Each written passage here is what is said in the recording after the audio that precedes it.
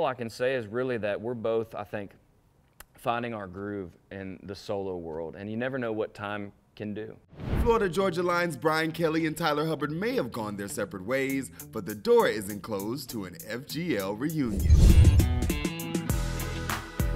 As a fan, I've been enjoying it, obviously, because I get to hear new music from mm -hmm. the mm-hmm. both of you. Mm -hmm. But, you know, we also know that what you guys went through and that you guys had differences and things like that. That's no secret. Do you guys still talk? Man, you know, he's, he's reached out and um, uh, congratulated me, and you know we've we've chatted through some things. We both were obviously sad and, and definitely you know bummed out about FGL House closing. We both wanted that to continue as a as a real special piece of our legacy.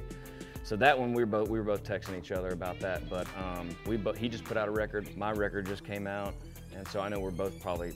I know I am flying by the seat of our pants, and just um, you know he always has my well wishes. I want him to crush it um, I expect nothing less than for him to do that, you know? And so, uh, man, we're just both out here giving it hell, you know, trying to, trying to just uh, chase these dreams and we'll see where, uh, where they bring us back to. And Brian's latest dream, Tennessee Truth, is out now.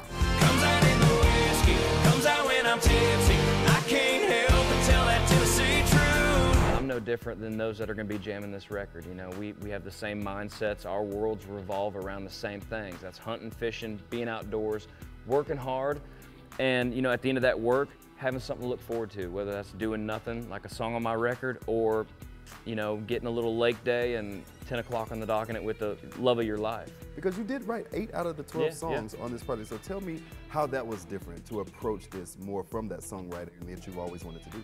Yeah, a lot of these songs, um, you know, were written with people I hadn't really even written with before. Some of them are. You never know where a great idea, the next great writer, and, and to treat to treat everybody like they're somebody that's how me and my wife like to live our lives, and that's that's an, a great example that's rubbed off on us.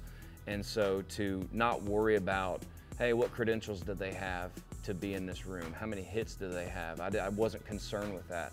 I was looking for the truth and the authenticity and the ideas every session, right? Yes. And so, but the, that in terms of that writing experience, this record, a lot of new writers, and so you're kind of getting to meet them, and you kind of hear a little bit about them. You're like, yeah, we're probably we'd probably go fishing together just even before you meet them, you know, we'd probably get along really well, but you just get in there and you go to work. So you've been referring to this album as your debut album, but yeah. you did put out Sunshine State of Mind yeah. in 2021. So why do you feel like this is the project that represents you as your debut? Yeah, so, you know, Sunshine State of Mind, I love that record. I'm forever grateful that I put that out. There's so many changes in, in my life and even on my team and my world from Sunshine State of Mind to this. It's like I'm able to really just kind of go for it, you know. Um, both records to me are super authentic and uh, to who I am and to my voice and, and also very different. Um, you know, a, a, song that best describes me and my heart and my lifestyle on Tennessee Truth uh, is Bare Feeder Boots. No matter where we're slipping off to, ain't nothing like you, baby. Bare Feeder Boots. That Bare Feeder Boots lifestyle is, is my headspace and so um, but just sonically, man, I, you know, I wanted to have, I wanted to kind of make a splash, I guess you could say, and, and, and really just do what I love. I mean, I, I love the sounds of this record. Like I wouldn't have put it out if I didn't like it.